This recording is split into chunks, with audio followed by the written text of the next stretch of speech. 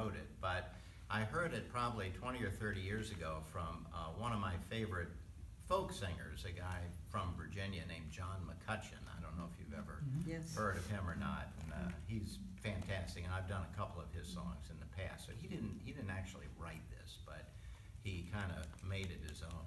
And uh, what I'd like to do is to get uh, all of you guys to sing the chorus with me, and it's remarkably easy. Uh, the, the, the words are very simply, Alleluia, the great storm is over. Lift up your wings and fly. And that, that's it. And we'll do that twice for each chorus, and then I'll do the, I'll do the verses and everything. So I'll sing it through once, and then you, you join me for the, for the second one there,